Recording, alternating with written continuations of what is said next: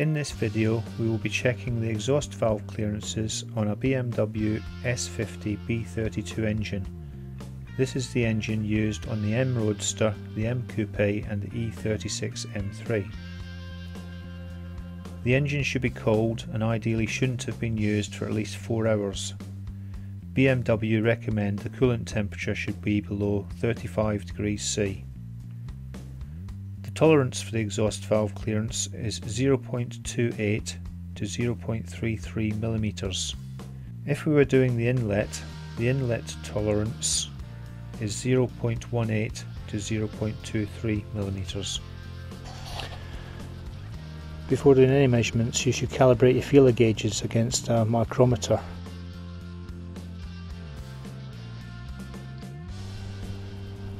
We're going to use go no go gauges. I've got a 0.23 and 0.09 which on the micrometer is 0.33 and a 0.18 and a 0.09 which on the micrometer is 0.28.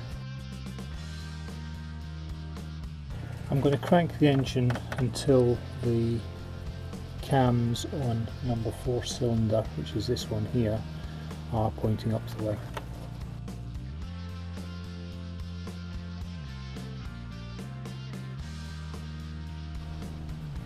Using the no-go gauges of the 9 and the 23.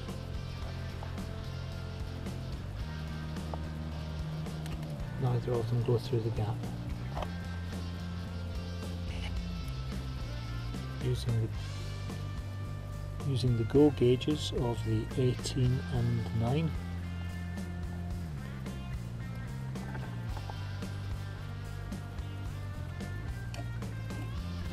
goes through the gap on the far cam doesn't go through the gap on the near cam the accurate measurement of a cam lobe that passes the go no go gauge is not relevant but you need to accurately measure one that fails. Now I've got a 25 uh, 20.25 millimeter feeler gauge here and I'm getting an impression of how much it's dragging when it's, it's underneath the lobe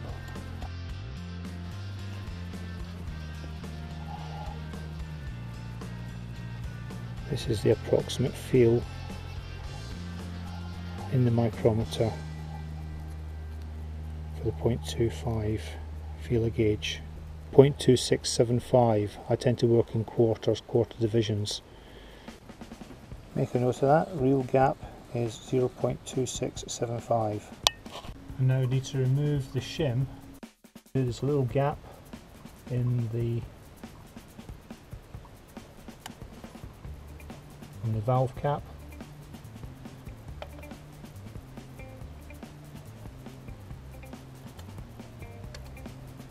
Fill in like that. Press down on the valve cap and that's fired the shim out. There's the shim. The shim is nominally 2.80 millimeters but it's actually 2.805 millimeters.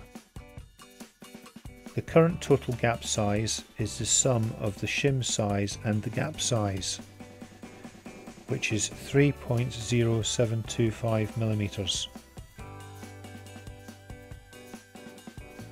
The maximum gap size is 0.33 millimeters, so the hypothetical shim size to achieve this gap would be 2.7425 millimeters.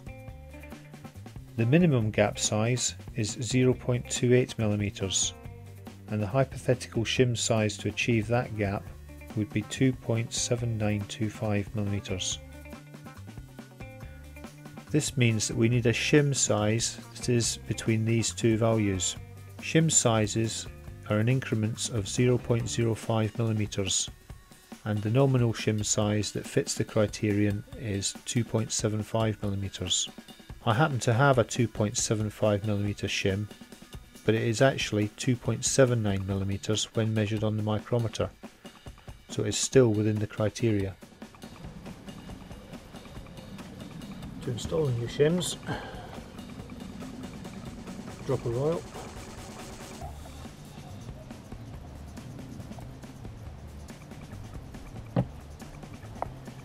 install the shim number side down. This is actually nominally 2.75 but it's actually 2.79 when measured on the micrometer.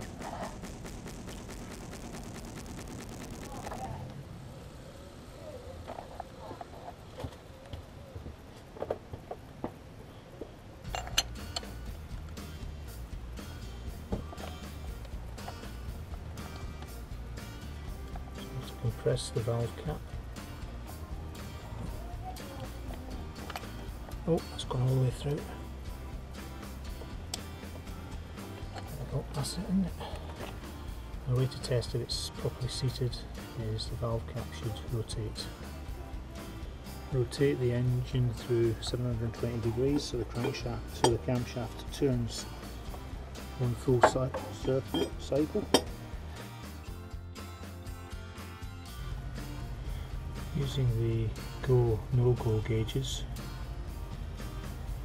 doing the 0.33 no go first. This shouldn't go in. And it doesn't. And using the 0.28 go gauge, it should go in. And it does.